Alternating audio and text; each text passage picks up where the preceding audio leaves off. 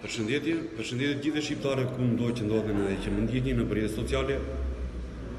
Dua të shtoj, sepse i kam ndjekur rrjetet sociale dhe i kam parë të gjitha mesazhet që më shkruajnë këlyshët e Edi Ramës që nuk i pëlqejnë ca e ca gjëra që populli shqiptar po vuan në fukarallëk dhe papunësia.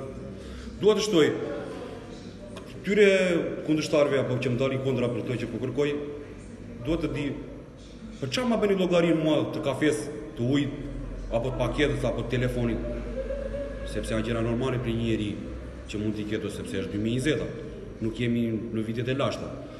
E dyta, dua, dua të di diçka.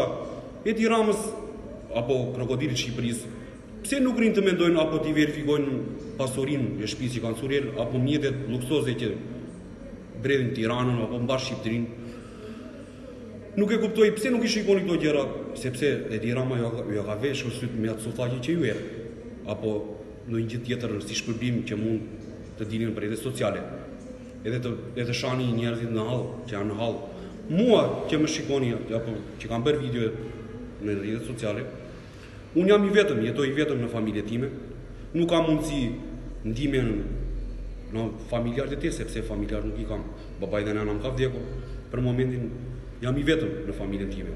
Mundohem që detyrimet, taksat, faturat e ujit dhe dritave, mundohem t'i paguaj, po aktualisht për momentin nuk i kam mundësitë për arsye, sepse Edi Rama ka ndaluar punën që në datën 14 mars, dhe sot që po flas jam i papunë. Mos kujtojnë Ata që më dalin kontra në rrjetet sociale se unë mund të jem parazit apo nuk punoj. Jo, unë punoj.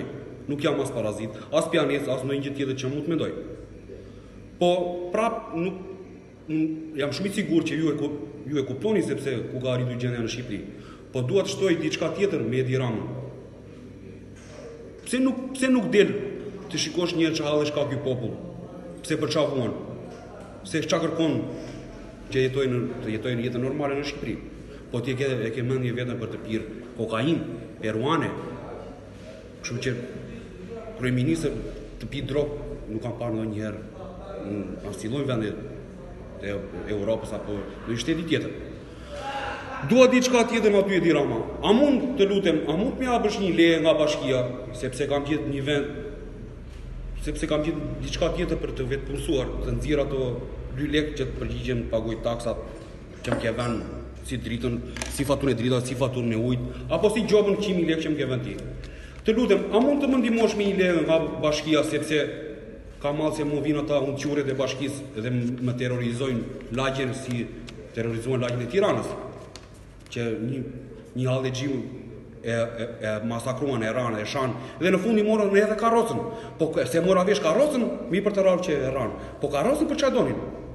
Atëherë, zoti kryeministër, unë ma mirato ti lejen e bashkisë vetëm mbledh kanaçe dhe bidona plastikë në kazanin e plehrave, sepse në qytetin ku jetoj nuk ka asnjë lloj mundësie për të kërkuar punë, sepse mundësitë e punës për të kërkuar punë janë shumë të pakta, sepse është fukarallëk, fukarallëk i madh, jo vetëm në qytetin ku jetoj në Fier, po mbarë Shqipërinë. Ju lutem, Dua dua të më miratosh ti lejen me bashki që të mbledh kanaçe dhe bidona plastikë në koshin e plehrave për arsye sepse dua që ty t'i pagoj këto fatura që më ke dhënë. 225000 lekë kam ujin dritat, kam edhe 80000 lekë dritat. Kam edhe 100000 lekë gjobën që më ke dhënë ti. E treta, dua, dua t'i them vetëm një fjalë popullit shqiptar, jo ty si, si krokodil, vetëm popullit shqiptar. Ngrihuni popull sepse unë që më shikoni jam gati të dal i pari në protestë të kërkoj të drejtën time edhe të gjithë shqiptarëve njësoj si e kërkoj të drejtën time. Kështu që dua diçka, si e kërkoj për veten time, e dua ta ketë çdo shqiptar tjetër. Një jetë normale, ketë një jetesë, të ketë të ketë një vend punësimi ku të punojë e të jetojë jo të merret me intriga si merret Edi Rama, me mashtrime, apo me budallallëqe flet nëpër, nëpër televizione apo nëpër rrjete sociale. Për mua ky nuk është kryeministër, ky është krokodil.